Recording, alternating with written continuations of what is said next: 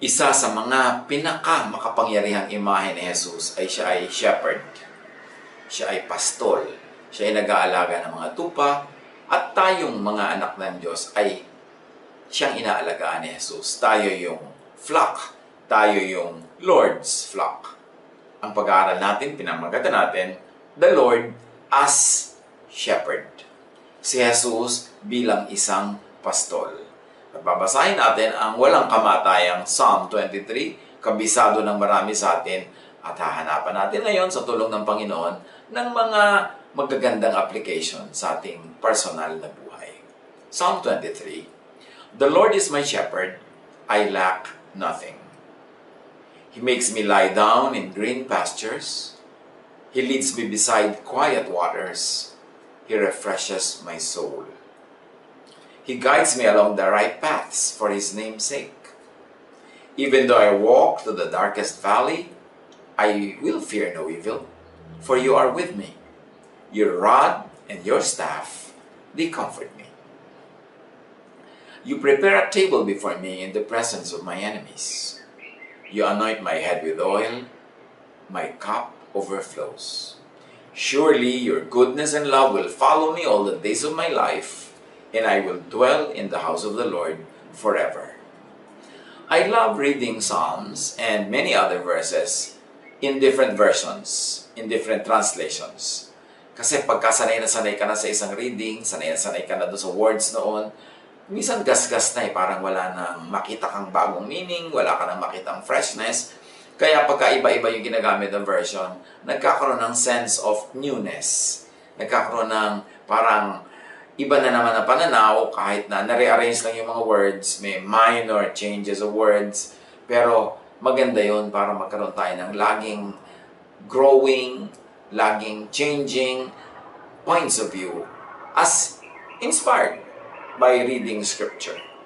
So isa-isahin nating pag-aralan itong mga verses ng Psalm 23. Why is it so enduring? Why is it the most popular chapter in the Old Testament?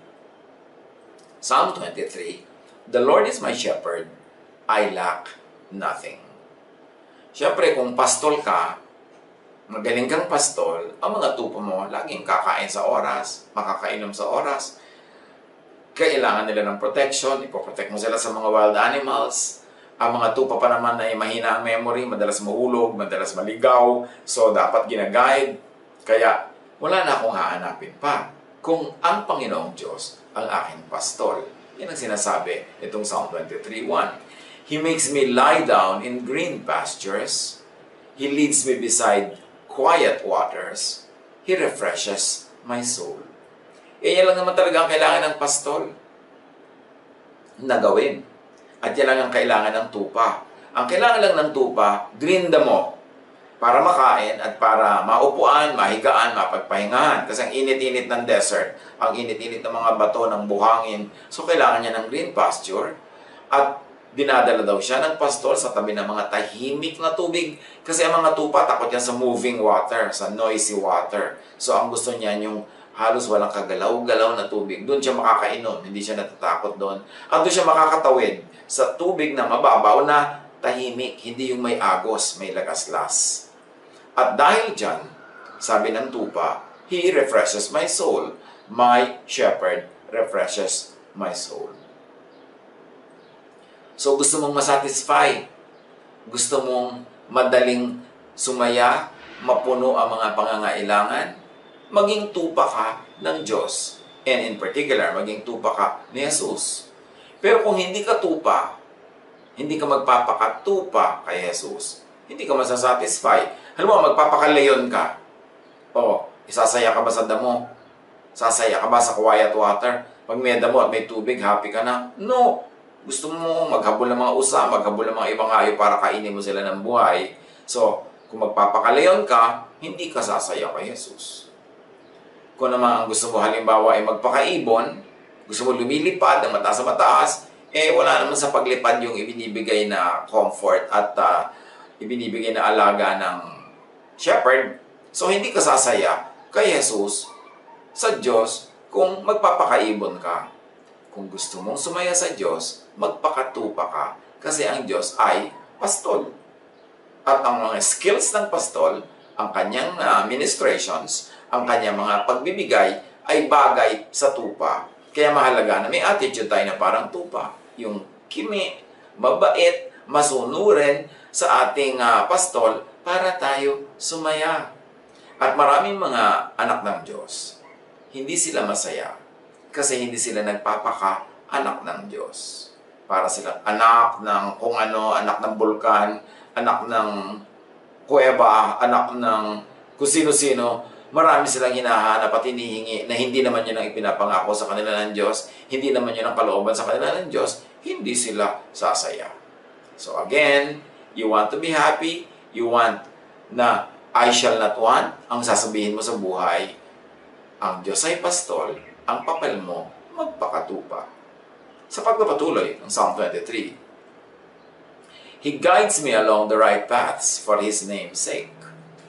Even though I walk through the darkest valley, I will fear no evil, for you are with me.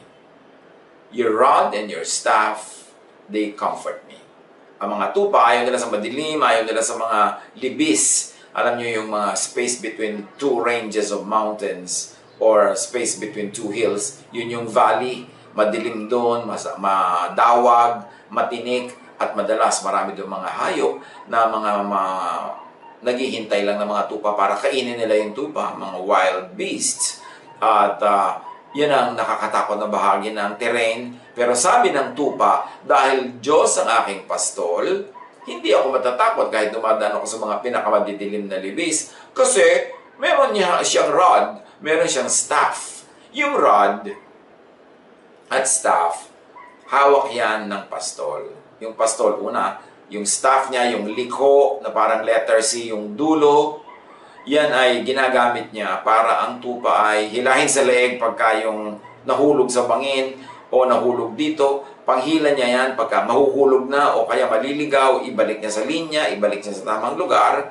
Pero yun namang rod, usually matigas na matigas yun, yun ang pambaton niya sa mga wild animals na gustong agawin yung mga tupa, tangayin at kainin. So may rod, merong staff, yung rod, usually ginagamit niya yan sa kalaban, at yung staff, ginagamit niya sa tupa mismo. And because of that, merong comfort yung tupa pag nakikita niya yung rod and staff. At sabi pa niya, you prepare a table before me in the presence of my enemies. This could be appreciated when we uh, have some working knowledge on the culture of the desert dwellers. Yung mga Bedouins, yung mga people of the desert, kasi yung mga Israelites, mga people of the desert yan, pati rin naman yung mga neighbors nila na sa mga desert dwellers, pagka ikaw ay inalok nilang kumain sa kanilang tent, and usually maghahanda sila sa labas ng tent kasi maliit lang yung loob, nandun yung babae, nandun yung pamilya, nandun yung mga gamit. So nakatambay lang sa labas ng tent yung lalaki, may konting kubol siya doon, may carpet, doon siya nakaupo maghapon, nagpapahangin, at doon na rin siya kumakain. At pag may bisita siya, doon niya papakainin. Pero pag pinakain ka ng tent dweller, sa labas ng kanyang tent, nakikita ng mga ibang taong dumadaan, nakikita ng mga ibang taong nakatira sa ibang tent doon sa banda doon, sa banda rito. Ang ibig sabihin nun, ipagtatanggol nitong host yung guest. Sukdo lang, ikamatay niya. Dadaan muna sa maibabaw ng kanyang malamig na bangkay ang sino mong gustong sumalakay sa kanyang bisita. So when a desert dweller feeds you in the presence of your enemies, it means you are well protected. And if God is your shepherd, na naghahain para sa iyo, na nakikita na yung mga kalaban, it means God will protect you. So, because God is my shepherd, I feel protected. I am protected. I know that I am protected. At sa pagpapatuloy ng Psalm, You anoint my head with oil, my cup overflows. Yung pag-anoint ng head with oil, pagpapahid ng langis sa ulo, ay halaga yan, nakaka-comfort yan sa mainit na desert. At yung oil na yon hindi naman yun yung malagkit. Kaya comfortable talaga yon mabango yon nakakapag-revive ng senses, at ibig sabihin din nun, ikay pinapahalagahan, that you are esteemed, that you are valued. Kaya, sabi niya, You, O Lord, anoint my head with oil. My cup overflows. pag binibigyan mo ko ng laman ng aking tasa, ng aking bowl, ng aking mangkok, ay halos umapaw-apaw. Ganon ang pag-ibig mo sa akin. Hindi kulang, hindi tasado, hindi tipid. Halos umapaw. So I feel favored, I feel loved, I feel blessed. In fact, dahil the Lord is my shepherd, I feel very rich.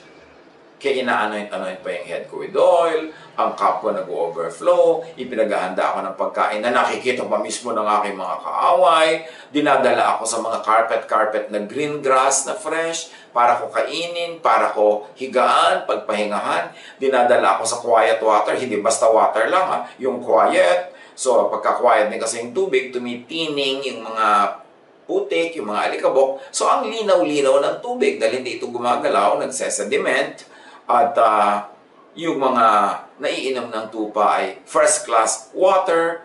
So, napakasarap kung ang Panginoon ang iyong pastol. Pero para maramdaman mo yung sarap na yon, kailangan magpakatupa ka.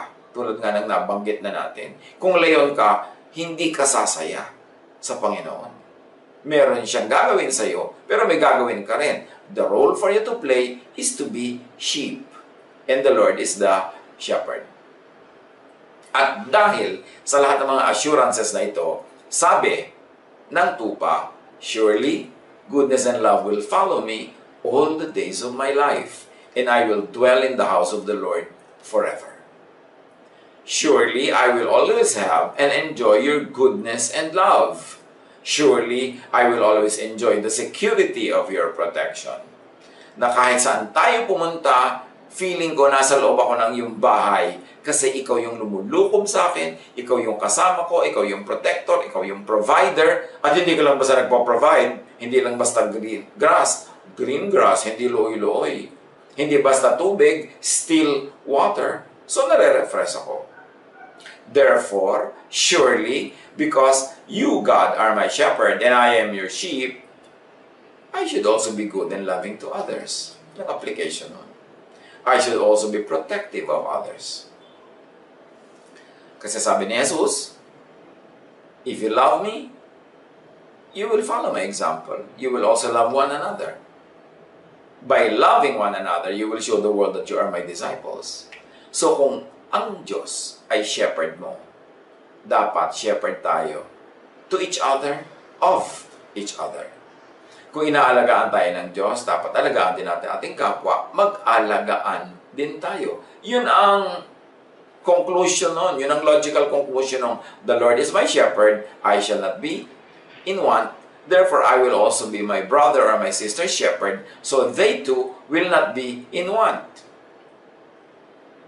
The image of God is what Jesus personified. John 1.14 The Word became a human being and lived here with us. We saw His true glory, the glory of the only Son of the Father. From him, all the kindness and all the truth of God have come down to us. So obviously, God has not been happy with the way He has been being represented or misrepresented by the religions of histories.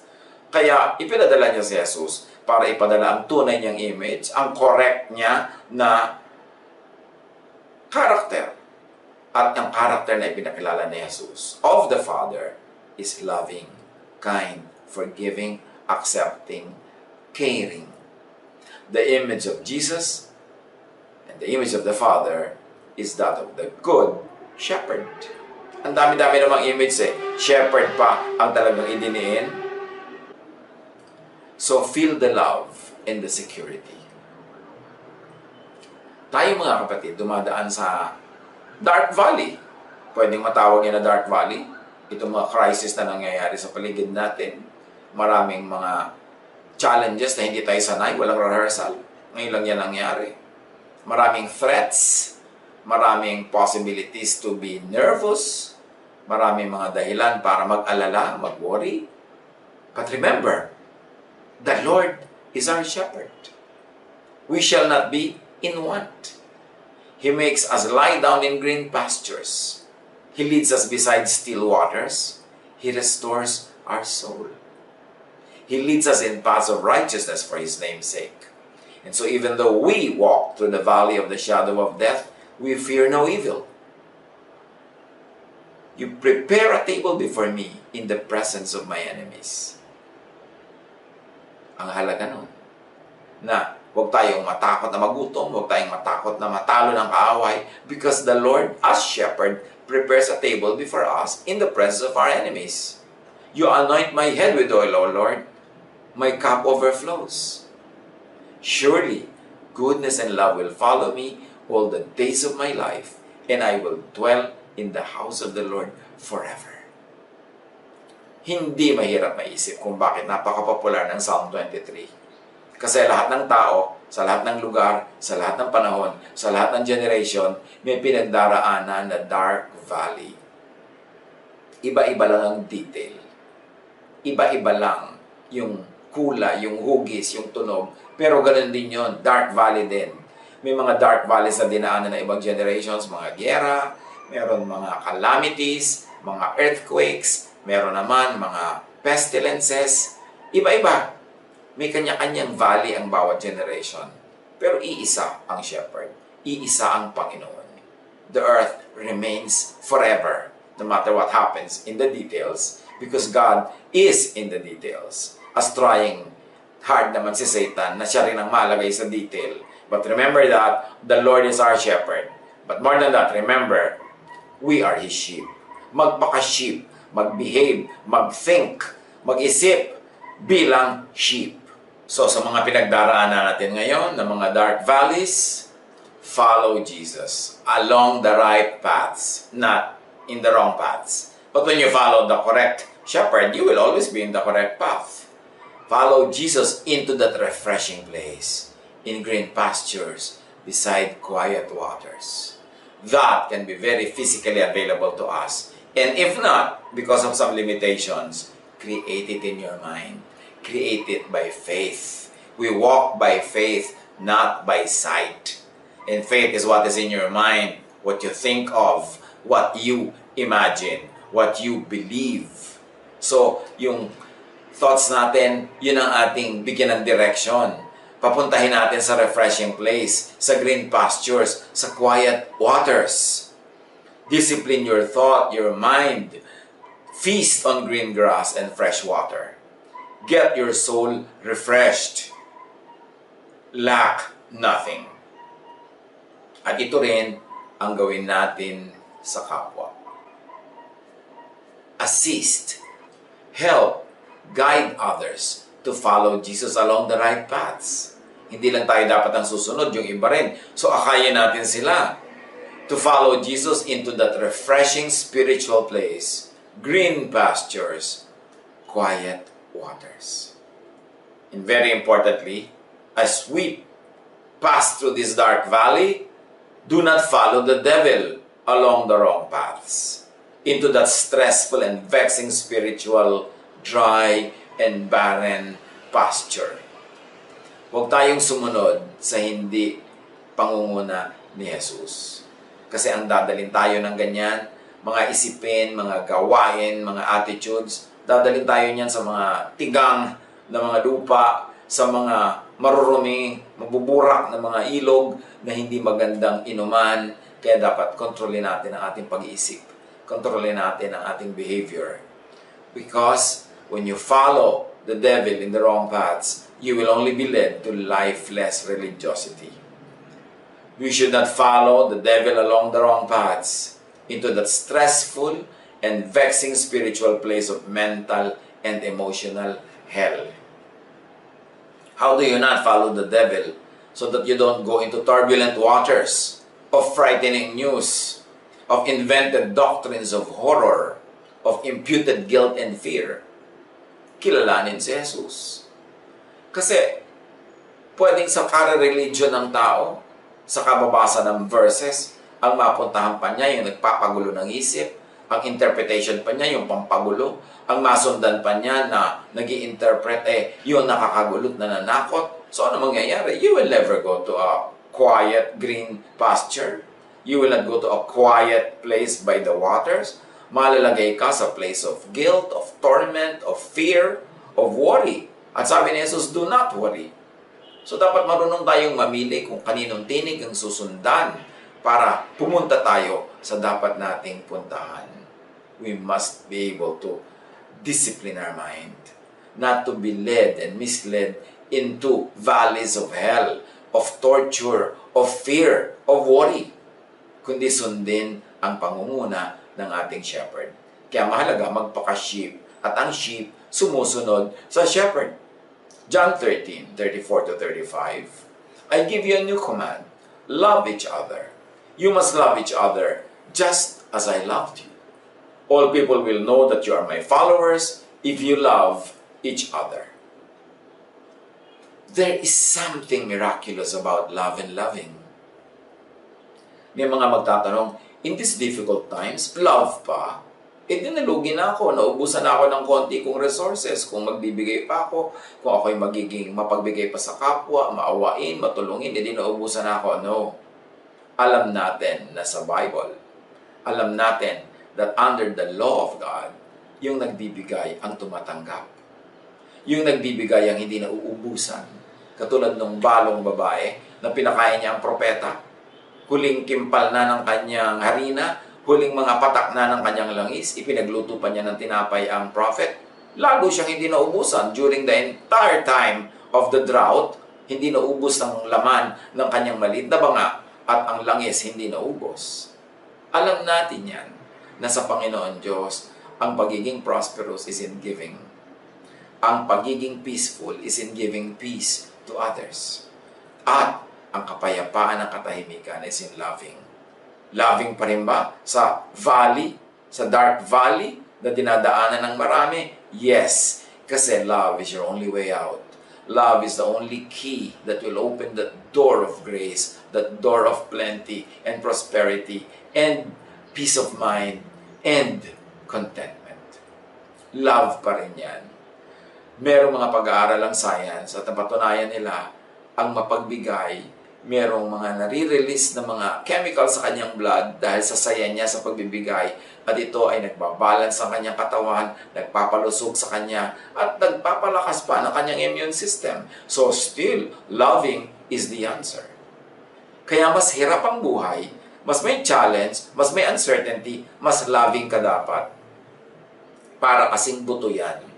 May mga buto ka ng mais, tapos may darating na taghirap, taggutom, So, anong gagawin mo sa buto mo? Kakainin mo lahat. Sa sarili mo, ilalagay mo lahat sa tiyan mo. O, itatanim mo. Magtitiis ka na hindi ka muna kumain agad, hindi ka nabusog agad, pero itatanim mo. Then may inaasahan kang tutubo, bubunga, at yun ang maghahango sa iyo sa kahirap at gutom, yung bunga ng itinanim mo. So sa mga difficult times like this, lagi tayong magtanim ng mabuti para may asahan tayong aanihin because that will be our salvation. So magtanim ng mabuti sa kapwa, magtanim ng mabuti rin sa puso. Anong thoughts ang itinatanim mo sa iyong puso? Thoughts that worry or thoughts that give peace? Thoughts that make you angry or thoughts that make you feel relaxed? Thoughts that scare you or thoughts that give you peace? Tanim din yon. Pag nagtanim ka ng horror sa utak mo, aani ka ng horror. Pag nagtanim ka ng worry, aani ka ng worry. Pero pag nagtanim ka ng pagtitiwala, nagtanim ka ng pag-ibig, nagtanim ka ng kapayapaan.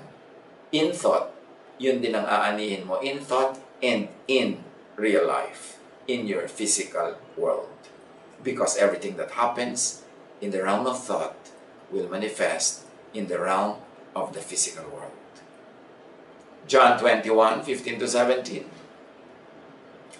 Jesus said to Simon Peter, Do you love me? Yes, Lord, he said, You know that I love you. Jesus said, Feed my lambs. Take care of my sheep. Feed my sheep. In other words, if you love Jesus, be a shepherd to others. It's our love for Jesus that keeps us safe. It's God's love through Jesus that secures us and saves us. Now, that same love, we should operate for the salvation, for the peace, for the well being of others. The love that you give away is the love that comes around, goes back to you. It is the same love that you keep. The shepherd's love. Be sheep to Jesus and be shepherd to other people. Hanapan natin yan ng mga application para sa ating sariling katatahimik, ikakapayapa, at magiging mabunga na gawain natin kahit dumadaan tayo sa dark valley na ito. God bless us all.